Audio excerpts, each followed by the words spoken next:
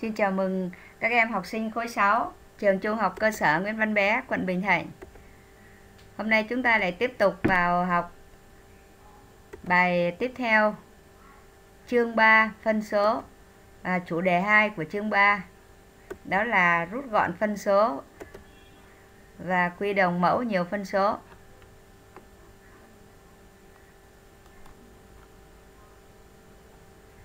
Chúng ta đi vào phần một La Mã rút gọn phân số.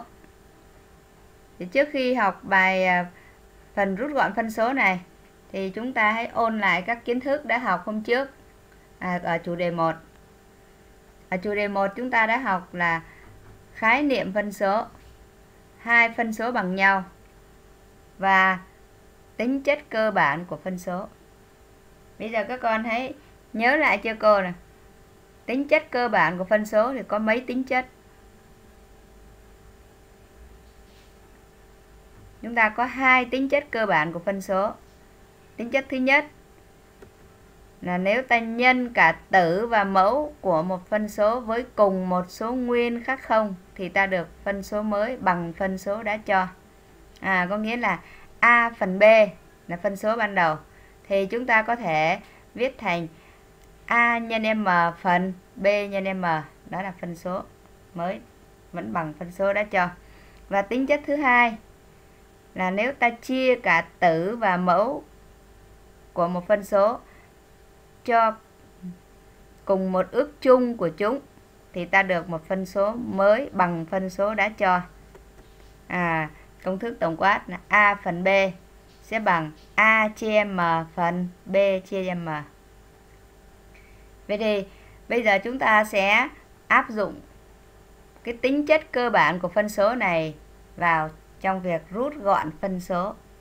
Để các con nhìn lại cho cô xem trong hai cái tính chất cơ bản này thì chúng ta sẽ dùng tính chất nào để viết ra à, rút gọn được cái phân số ban đầu nó thành cái phân số mới mà gọn hơn vẫn bằng phân số ban đầu mà gọn hơn. À,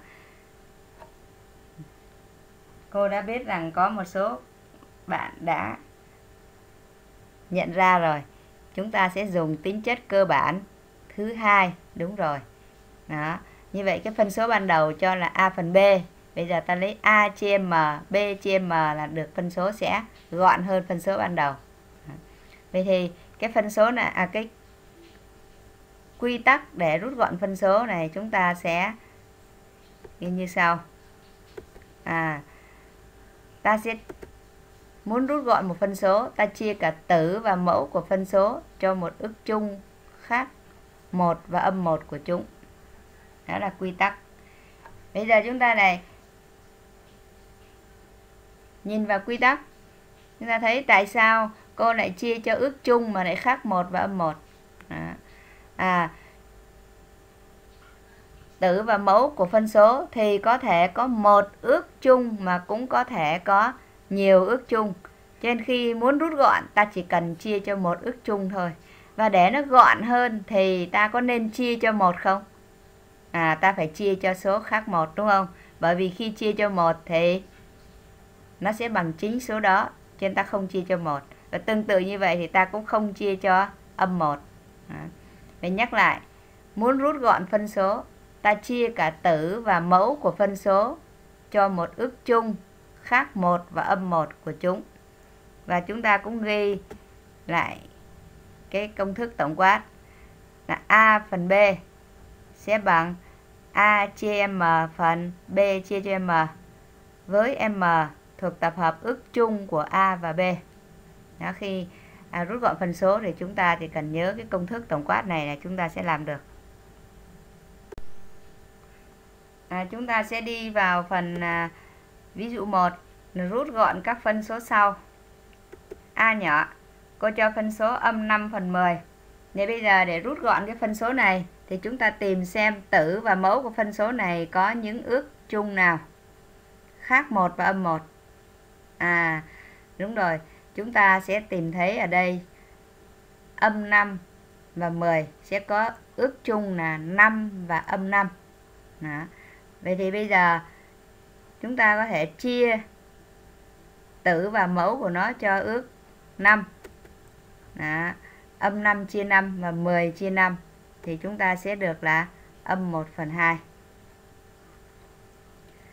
Chúng ta cũng có thể chia cho âm 5 được nha các con. Nhưng mà chia cho âm 5 thì lúc đó 10 chia âm 5 sẽ ra âm 2 và lúc đó phân số rút gọn được có mẫu là một số âm. Cho nên là chúng ta không nên làm như vậy. Chúng ta rút gọn chia cho số. Cái ước dương hay ước âm đều được nhưng chia làm sao chúng ta ra được? Cái kết quả cuối cùng mà mẫu là một số dương thì chúng ta nên làm. Đó. Và thông thường thì chúng ta cứ chia cho số dương trước như các con nó dễ hơn. Đó, chia cho một số nguyên dương nó dễ hơn. Nó khi mà lỡ có ra mẫu âm thì chúng ta thực hiện cái phương pháp là đổi mẫu viết cái mẫu âm thành mẫu dương cũng được. Thế nhưng ở bài này chúng ta chia cho số cái mẫu dương à cái ước chung là dương 5 là cái sẽ tốt hơn. Thì chúng ta sang câu B là 18 à, phân số 18 phần âm 33 đó bây giờ chúng ta thấy cái mẫu này là một số âm. Và chúng ta cũng xác định xem 18 và âm 33 này sẽ cùng chia hết cho mấy. Cũng có nghĩa là ước chung của nó là mấy à, ước chung của nó sẽ là 3 và âm 3 vậy thì chúng ta nên chia cho số nào nó nó dễ. Thì đây chúng ta có hai cách chia cho 3 và âm 3 đều được. Về đây cô sẽ chia cho số dương trước là chia cho 3 vậy thì ta 16 chia 18 chia 3 được 6 và âm 33 chia 3 thì được âm 11 bây giờ cái mẫu của nó là một số âm thì ta lại dùng cái cách là chuyển cái mẫu âm thành mẫu dương. Đó. bằng cách nhân cả tử và mẫu với âm 1 là chúng ta sẽ được phân số vậy. Còn nếu ai mà chia luôn cho âm 3 thì chúng ta được luôn là cái phân số rút gọn cuối cùng là âm 6 phần 11 và ví dụ C, cô có phân số 19 phần 57 à về đây chúng ta lại tìm thấy 19 và 57 này chỉ có một à, có ước chung là bao nhiêu nào? Là 19 và ước chung cũng có thể là âm 19 nhưng vì đây tử và mẫu đều là số dương chúng ta chia cho dương 19 luôn và kết quả ra 1 phần 3 câu D là âm 36 phần âm 12 vậy ở đây tử và mẫu này chúng ta bỏ cái âm đi chúng ta thấy 36 và 12 chúng ta thấy sao nè à 36 ơi chia hết cho 12 vậy thì ta chia luôn cho 12 luôn nha. Và ngoài cái 10 cái ước 12 đó chúng ta còn có nhiều những cái ước nhỏ hơn. Ví dụ như 2 3 4 à, 6 chẳng hạn. Thế nhưng chúng ta sẽ chọn cái ước 12 là cái ước lớn nhất để chúng ta chia để ta được một cái phân số gọn nhất. Hả? Về đây chúng ta chia cho 12 thì sẽ được là âm 3 phần âm 1. Đó, âm 3 phần âm 1.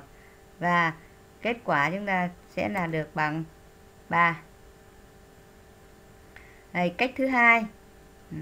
thì cô không có để cái âm 36 phần âm 12 để chia luôn mà cô viết cái âm 36 phần âm 12 này về cái phân số dương à, thành 36 phần 12 và lúc này, cô 36 chia 12 cô ra luôn được là 3 Đó. vậy thì trong hai cái cách này, là các con chọn cách nào làm cũng được. Và chúng ta cũng còn nhiều cách khác, nhưng hai cách này là chúng ta thấy đơn giản nhất, thì chúng ta hãy thực hiện theo nha.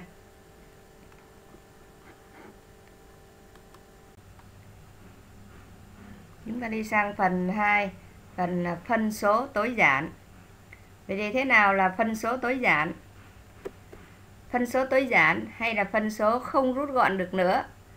Là phân số mà tử và mẫu chỉ có ước chung là một và âm 1 Bây giờ chúng ta thấy ở trong cái ví dụ ở bên trên thì chúng ta lại lưu ý và cái ví dụ D đó. Thì mẫu và tử là có những cái ước chung à, khác một và âm 1 có nhiều ước chứ không phải là một ước. Vậy thì khi chúng ta rút gọn cái phân số đó, chúng ta làm sao để chia cho cái ước nào là cái ước lớn nhất? À, hay ta gọi là chia cho ước chung lớn nhất để rút gọn được cái phân số đó về phân số tối giản? Để chúng ta lưu ý khi rút gọn phân số ta thường rút gọn phân số đến phân số tối giản. Đã sang phần 3 luyện tập. Các con mở bài 15 trang 15 sách giáo khoa. Rút gọn các phân số sau. Thì chúng ta sẽ áp dụng à, cái quy tắc rút gọn phân số và rút gọn đến phân số tối giản cho cô.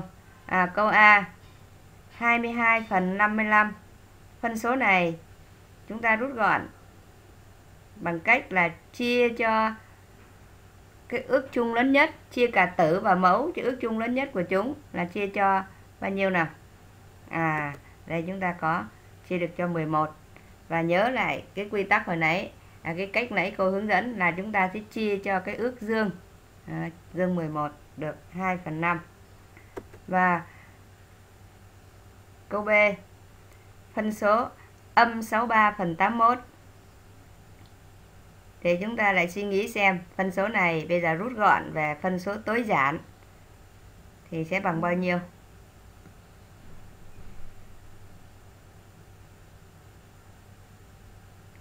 À đây. Tử và mẫu của phân số này có thể chia được cho 3 âm 3 9 âm 9 đúng không? Vậy thì chúng ta sẽ chia cho 9 để được âm 7 phần 9 Đây là phân số tối giản.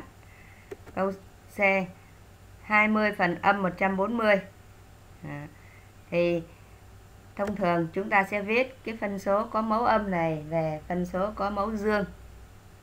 Đó, bằng cách là chúng ta nhân cả tử và mẫu với âm 1 Đó, nhân tử với âm 1 mẫu cũng nhân với âm 1 thì chúng ta sẽ được phân số có mẫu dương. Hay nói đơn giản là chúng ta thấy cái phân số mà có một cái à, mẫu tử à, cái mẫu của âm mẫu mà âm như vậy thì ta chuyển cái âm đó lên tử các con. Đó cho nó nhanh nhưng mà chúng ta vẫn phải nhớ quy tắc là nhân cả tử và mẫu với âm 1 để ta được cái phân số có mẫu dương. Rồi, ta rút gọn thì ra được âm 1 phần 7 rồi, câu D của bài 15 này là âm 25 phần âm 75 Vậy thì chúng ta nhìn ngay ra là rút gọn được 1 phần 3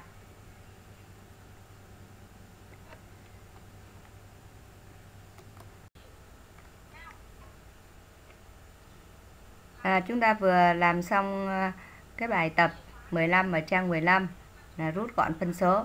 Thì các con nhớ là để rút gọn đó chúng ta phải làm đúng theo cái quy tắc rút gọn là chia cả tử và mẫu cho cùng một ước chung. Về những ai mà chưa nhớ hoặc làm chậm hơn đó thì chúng ta thấy là chúng ta phải ôn lại để ước chung tìm về ước chung. Hay cũng có nghĩa là đi tìm à, dùng cái dấu hiệu chia hết để ta xem nó tử và mẫu nó chia hết cho những số nào và để làm cái bài đó được nhanh hơn thì chúng ta cũng có một cách khác là chúng ta dùng máy tính bỏ túi. Hay là dùng máy tính cá nhân để chúng ta thực hiện nó sẽ được nhanh hơn. Thì giờ cô đã hướng dẫn chúng ta à, sử dụng cái này.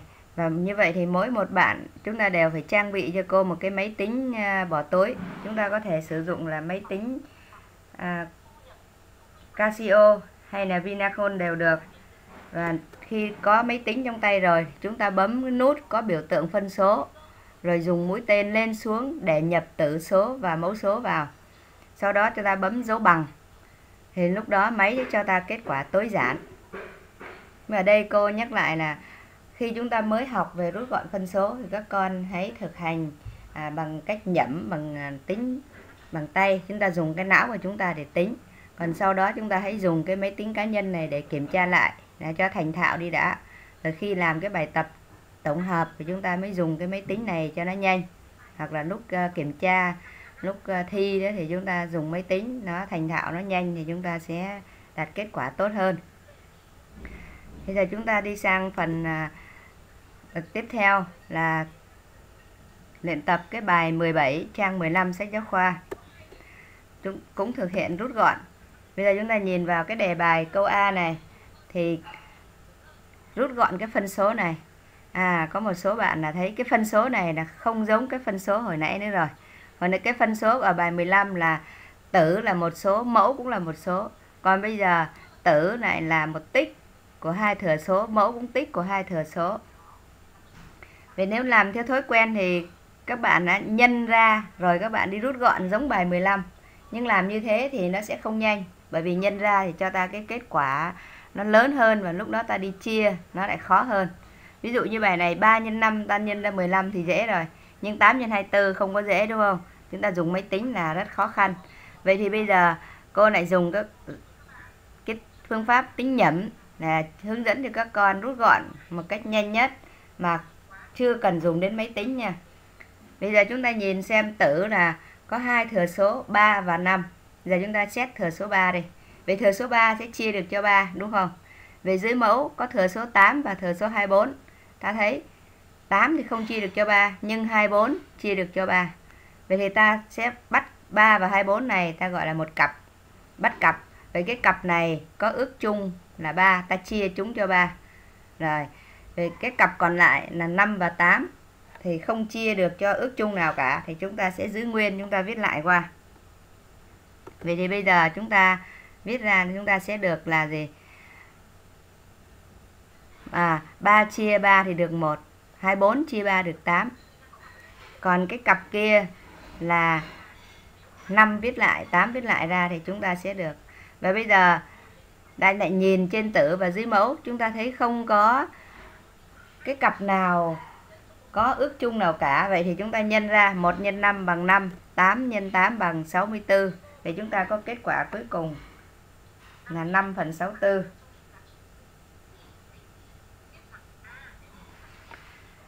Giờ chúng ta sang câu B. 2 x 14 phần 7 x 8 Vậy chúng ta theo cách làm vừa rồi. À có nhiều bạn nhìn ra ngay. Số 2 chia được cho 2 và dưới mẫu thì có số 8 cũng chia được cho 2 vì ta lấy 2 và 8 này bắt thành một cặp. Còn lại 14 và 7 chúng ta thấy 14 và 7 cùng chia hết cho 7. Như vậy ta được cặp thứ hai. Giờ chúng ta viết ra cặp thứ nhất là 2 chia 2 được 1. 8 chia 2 được 4. Chúng ta viết ở đúng vị trí của nó. Rồi 14 chia 7 được 2, 7 chia 7 được 1. Đó, vị trí cái số thừa số ban đầu ở đâu thì khi kết quả chúng ta viết ở vị trí đúng như vậy và giờ ta nhân ra 1 nhân 2 bằng 2 1 nhân 4 bằng 4 chúng ta được 2 phần 4 và bây giờ ta lại thấy rằng 2 và 4 này lại cùng chia hết cho 2 cho nên chúng ta được 1 phần 2 chúng ta sang câu C. À, câu C ta thấy là tử này là 3 thừa số mẫu là chỉ có hai thừa số thôi.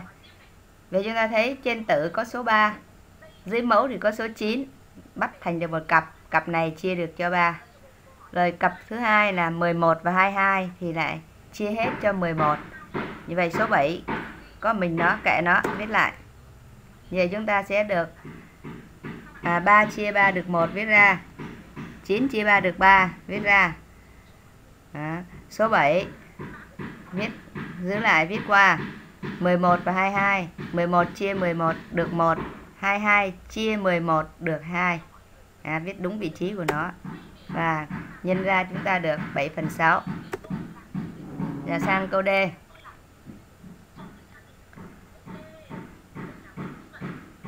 Câu D này các con thấy nè. Bây giờ chúng ta này nhìn cái phân số này Cái dạng của nó lại không giống với câu A, B, C hồi nãy nữa rồi. À, cái tử của nó lại là hiệu của hai tích. Như vậy 8 x 5 trừ 8 x 2 cái tử này chúng ta thấy có thừa số 8 là được nhân lặp lại hai lần và nó chính là thừa số chung vậy thì khi rút gọn ta không thể nào lấy cái 8 ta chia 16 nha ta phải biến đổi cái tử này trở về dạng là một tích của nhiều thừa số thì chúng ta mới rút gọn được là đưa về cái dạng ở câu A, câu B, câu C ở bên trên. Đó, như vậy thì chúng ta sẽ dùng số 8 này làm thừa số chung ta rút ra ngoài. Thì bên trong còn là 5 trừ 2. Và cái này theo ở học kỳ 1 chúng ta học rồi, đây chính là áp dụng tính chất phân phối của phép nhân đối với phép cộng, phép trừ. Đó, chúng ta rút được số 8 ra. Và bây giờ chúng ta thấy rằng 8 nhân với cái ngoặc 5 trừ 2. Thì ở đây chúng ta lại thực hiện làm ở trong ngoặc trước 5 trừ 2 bằng 3. Vậy thì chúng ta sẽ có 8 nhân 3 phần 16. Vậy trong cái này chúng ta lấy 8 và 16 lại chia hết cho 8 nên chúng ta được là 1 16 chia 8 được 2 còn số 3 không chia thì ta giữ nguyên, viết lại qua. Như vậy chúng ta sẽ được là 3 phần 2. Đó. Giờ sang câu C. À xin lỗi, câu E. Thì chúng ta này nhìn ở câu E này nó lại giống cái dạng ở câu D đó, cái tử là 11 nhân 4 rồi trừ 11 vì bài này nếu một số bạn tinh ý là chúng ta nhìn ngay ra cái tử này cũng áp dụng tính chất phân phối được ngay đúng không? Đó, 11 nhân 4 rồi cái số trừ phía sau 11 nhưng ta có thể biến thành 11 nhân 1 để chúng ta rút cái 11 ra ngoài. Trong còn 4 trừ 1 và ở dưới mẫu 2 trừ 13 thì ta viết thành kết quả luôn luôn là âm 11 và bây giờ chúng ta rút gọn 11 với 11 thì sẽ ra là gì? À 11 nhân 3 phần âm 11 này đó. Bây giờ chúng ta rút gọn đi. Sẽ được là âm 3 đó. như vậy sau cái bài 17 này chúng ta thấy có hai cái dạng à, đặc biệt khác đúng không? Một nhắc lại là các câu A, B, C thì phân số nó là tử và mẫu là dạng tích. Câu D, câu E tử chưa ở dạng tích. Chúng ta phải biến đổi phải dùng các tính chất đã học. Thì ở đây là dùng tính chất phân phối của phép nhân đối với phép cộng. Đó, chúng ta đặt cái thừa số chung ra ngoài để chúng ta biến thành tích. Tử là một tích và mẫu là một tích. Sau đó chúng ta mới rút gọn. Rút gọn bình thường vậy thì sau khi làm bài này rồi, các con lại lấy máy tính cá nhân, các con kiểm tra lại cho cô bấm cái đề của câu, các câu vào rồi các con bấm dấu bằng xem kết quả có đúng như là chúng ta vừa làm hay không đó. thì đây là một cái bước cũng tương đối là quan trọng để giúp chúng ta làm biết tự kiểm tra lại bài tập của mình, xem mình làm đúng hay sai nhưng mà các con lưu ý các con nhập cái số vào máy tính phải nhập cho đúng nha. Đó. Chúng ta chỉ cần nhập cái đề vào thôi rồi bấm dấu bằng ra kết quả để kiểm tra.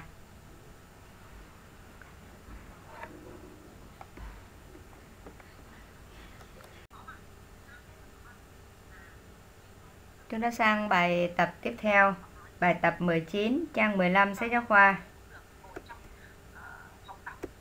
Người ta yêu cầu là đổi ra mét vuông. Vậy thì ở đây chúng ta lại sang cái việc là đổi đơn vị à, diện tích. Thì nhắc lại, giờ một mét vuông thì sẽ bằng 100 deci vuông. Đây là ta đổi cái đơn vị từ đơn vị lớn ra đơn vị nhỏ thì đơn vị lớn mà sẽ gấp 100 lần cái đơn vị nhỏ kế bên nó đúng không đó rồi bây giờ ta đổi ra cm vuông, thì sao?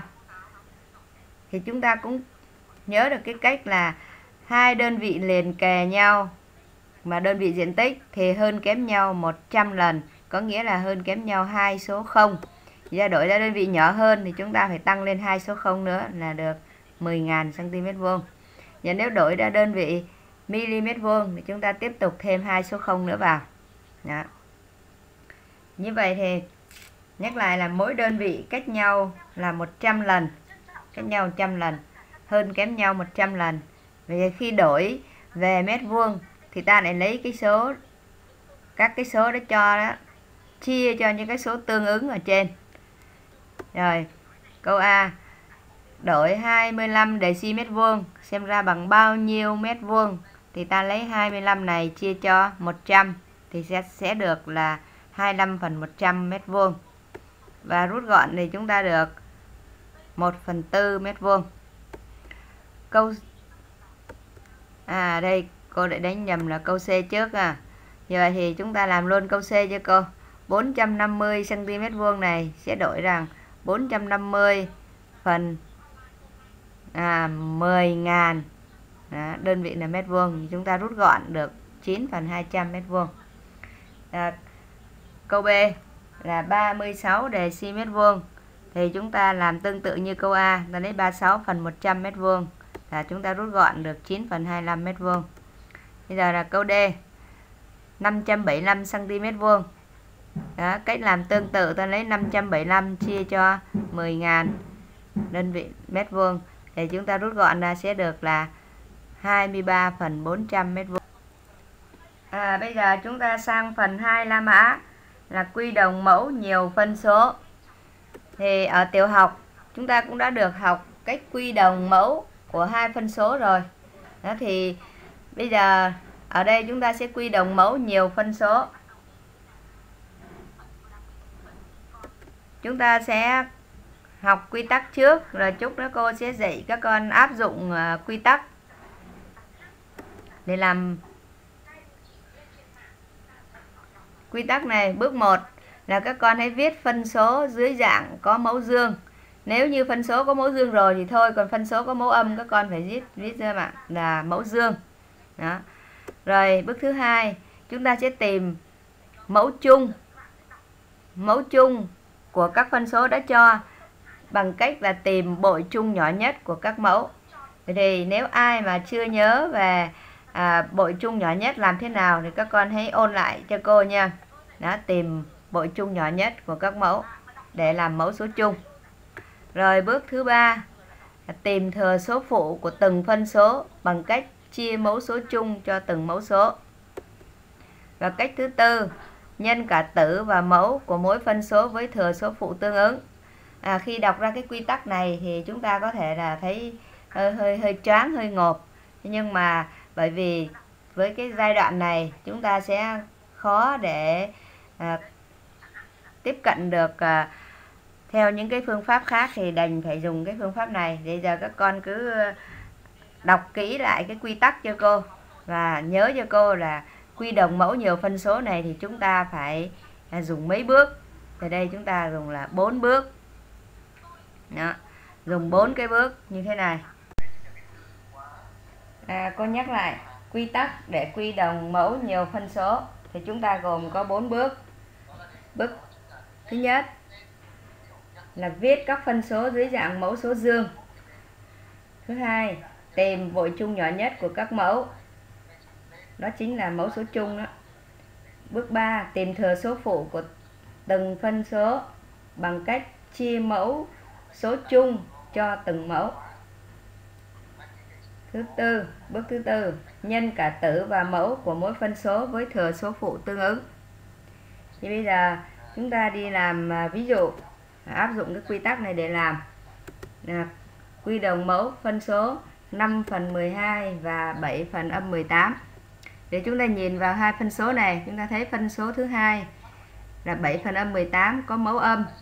Cho nên là chúng ta phải đổi cái phân số có mẫu âm này thành phân số có mẫu dương. 7 phần âm 18 bằng âm 7 phần 18 và chúng ta đi nhìn vào hai cái mẫu mẫu 12 và cái mẫu 18 này thì chúng ta tìm mẫu số chung của hai số này. Bằng cách là đi tìm bội chung nhỏ nhất của 12 và 18 thì, thì đến đây ai chưa nhớ chúng ta lại phải đi ôn về tìm bội chung nhỏ nhất của 12 và 18 thì đây chúng ta sẽ tìm ra được bằng 36 thì cô cũng nhắc qua lại cái à, tìm bội chung nhỏ nhất. Thì chúng ta, lúc trước thì chúng ta có quy tắc 3 bước đó và chúng ta bây giờ thì có thể dùng máy tính để chúng ta tìm. Thì đó về chúng ta phải ôn lại ha. Phân tích ra thừa số nguyên tố này, chọn các thừa số nguyên tố chung và riêng này.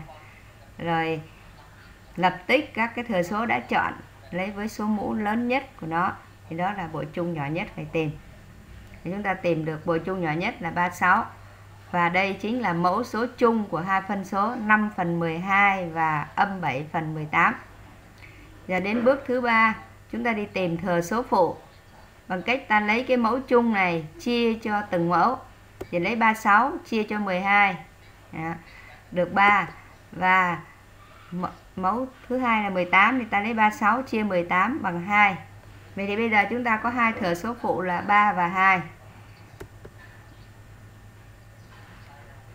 bước cuối cùng là ta đi nhân cả tử và mẫu của phân số 5 phần 12 này với thừa số phụ tương ứng. Vậy thì thừa số phụ tương ứng của cái mẫu 12 này là 3 Chúng ta vừa tìm được ở trên đó. Ta lấy 5 x 3 phần 12 x 3 Và chúng ta ra được các phân số sau khi đã quy đồng là 15 phần 36 Phân số thứ hai là âm 7 phần 18 Thì bây giờ ta đi nhân cả tử và mẫu của nó với thừa số phụ tương ứng. Thừa số phụ tương ứng ở cái mẫu này là 2 như vậy, âm 7 nhân 2 phần 18 nhân 2 chúng ta được phân số âm 14 phần 36 rồi, như vậy trong thực hành thì chúng ta có thể trình bày gọn hơn là chúng ta làm à, sau này thành thạo rồi á, thì các con chỉ chỉ cần đi đổi mà các con không cần phải à, viết những cái chữ ghi ra. Đó. rồi chúng ta lưu ý trước khi quy đồng mẫu thì chúng ta có thể rút gọn các phân số. Nếu như phân số đó chưa tối giản nha. Về rút gọn về phân số tối giản để chúng ta quy đồng thì nó sẽ nhanh hơn dễ hơn à, chúng ta có một số nhận xét sau đây sau khi mà học về quy đồng mẫu hai phân số nhận xét thứ nhất là khi quy đồng mẫu hai phân số A phần B và C phần D thì nếu như B và D là hai số nguyên tố cùng nhau thì mẫu chung sẽ bằng tích của B và D. Cái nhận xét thứ hai là nếu B chia hết cho D thì mẫu chung sẽ là B. Thứ ba là nếu C phần D là số nguyên thì mẫu chung chính là B.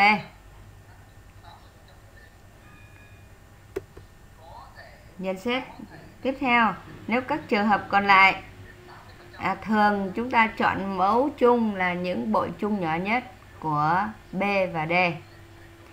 Nhưng mà ở đây khi tìm mẫu chung của B và D thì cô này có một cái à, hướng dẫn thêm cho chúng ta. Học kỳ 1 đó, muốn tìm bộ chung nhỏ nhất của hai số đó, thì chúng ta có thể lấy số lớn chia cho số bé, đúng không hoặc để nếu mà chia hết thì mẫu chung sẽ là số lớn còn nếu như chia không hết thì ta sẽ lấy số lớn đó ta nhân với 2, 3 vân vân. Bao giờ đến cái số mà được số chia lại cho cái mẫu còn lại thì đó chính là mẫu chung. À, đấy là bộ chung nhỏ nhất. Vậy thì nếu như trường hợp là trong khi chúng ta quy đồng mẫu của nhiều phân số thì ta làm thế nào? À, ta sẽ tìm mẫu chung nhanh cũng bằng cách là ta lấy cái số mẫu lớn nhất chia cho các mẫu còn lại à, nếu mà cái mẫu lớn nhất đó chia hết cho các số còn lại thì mẫu lớn nhất đó chính là mẫu chung. Và lấy mẫu lớn nhất đó chia cho các số còn lại nhưng mà có trường hợp mà chia không hết đó, thì ta lấy cái mẫu lớn nhất đó ta nhân với 2 với 3 lần lượt vân vân. Và nhân đến khi nào mà được cái kết quả chia hết cho các mẫu còn lại đó, nó chia hết cho các mẫu còn lại thì cái số đó chính là mẫu chung.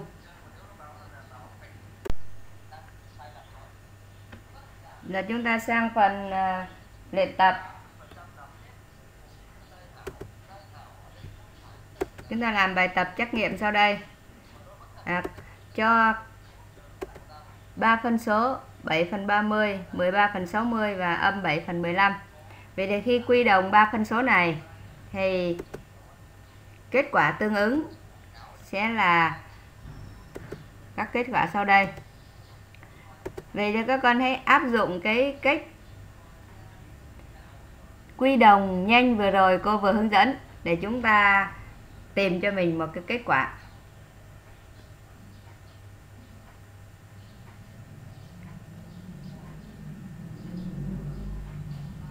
Rồi, giờ chúng ta nhìn vào ba phân số này. Mẫu thứ nhất là 30, mẫu thứ hai là 60 và mẫu thứ ba là 15. vậy theo cách cô hướng dẫn vừa rồi ha để chúng ta nhìn vào các từng phân số một. Mỗi phân số đều là phân số đã tối giản rồi. Bây giờ cái mẫu trong ba mẫu này thì mẫu lớn nhất là 60 à, vậy chân nhìn xem số 60 này như thế nào với 30 có chia hết hay không? Và 60 này có chia hết cho 15 hay không? Thì chúng ta thấy 60 chia hết cho 30 được 2 60 chia cho 15 được 4 vậy thì có nghĩa là bội chung nhỏ nhất của ba cái mẫu này chính là số lớn nhất là số 60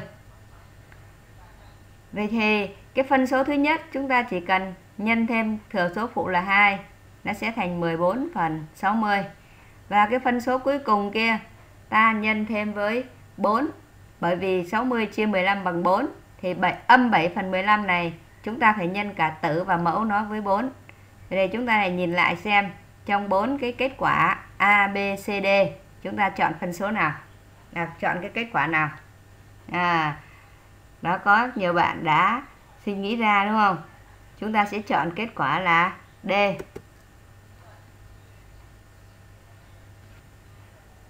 Đó thì à, áp dụng cái quy tắc để quy đồng mẫu nhưng mà khi làm chúng ta có thể làm nhanh. Chúng ta biết nhận xét cái những cái phân số đã cho để chúng ta có thể làm nhanh. Còn bao giờ mà không làm nhanh được chúng ta hãy đi làm từng bước một.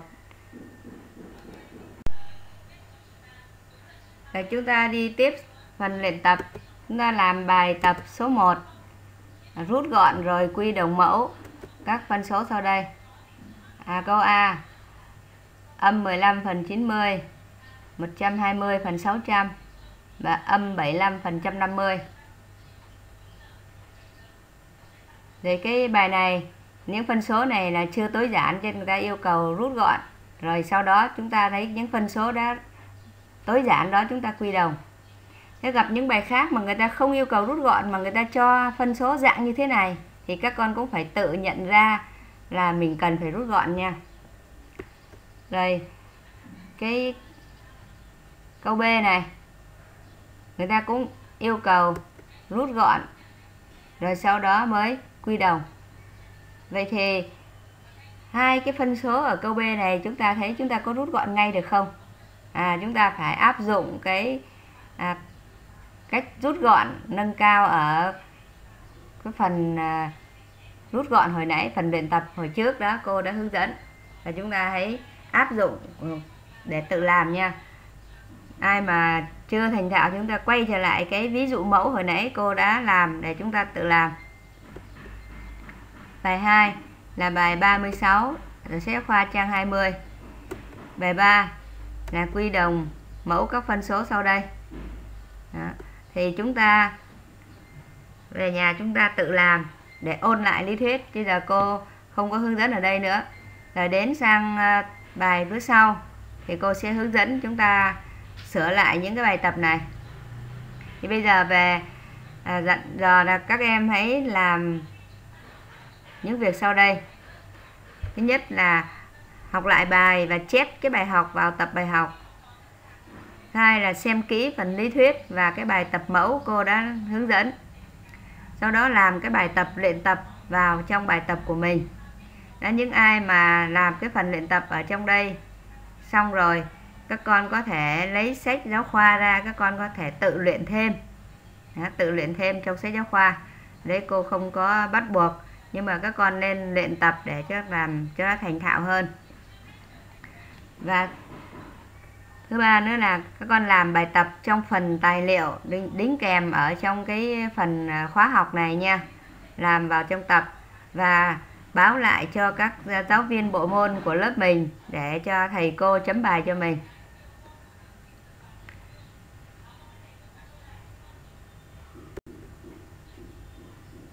Rồi à, sau đây là cô sẽ hướng dẫn giải cái bài tập ở chuyên đề 1 hướng dẫn bài, giải bài trong sách giáo khoa. Bài 5 trong sách giáo khoa là người ta yêu cầu dùng cả hai chữ số 5 và 7 để viết thành phân số. Mỗi số chỉ viết một lần. Tương tự như vậy thì đối với hai số 0 và âm 2 thì viết được bao nhiêu? Vậy thì chúng ta sẽ viết được 5 phần 7 và phân số 0 phần âm 2 thì bài 5 thì chúng ta viết được hai phân số. Rồi bài 6 sách giáo khoa là người ta yêu cầu tìm số nguyên x và số nguyên y. Thì câu A là tìm x, câu B là tìm y.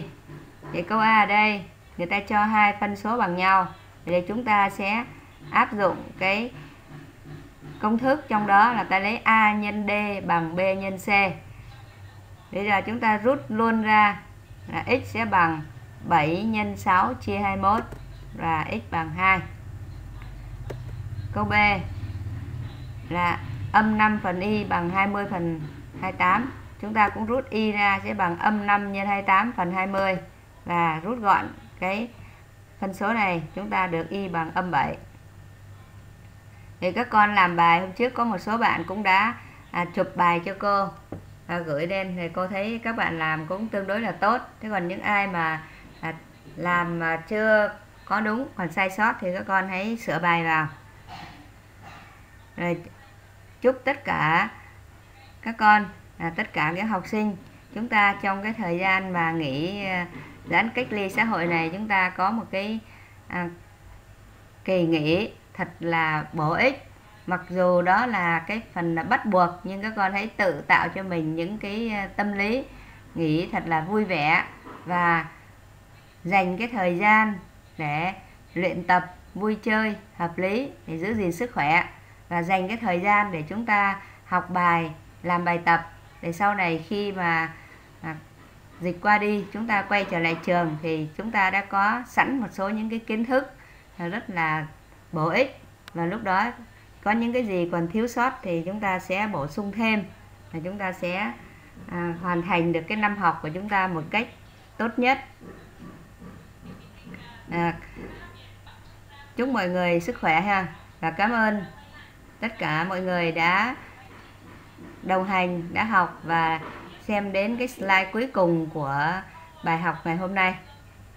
À, xin chào và hẹn gặp lại.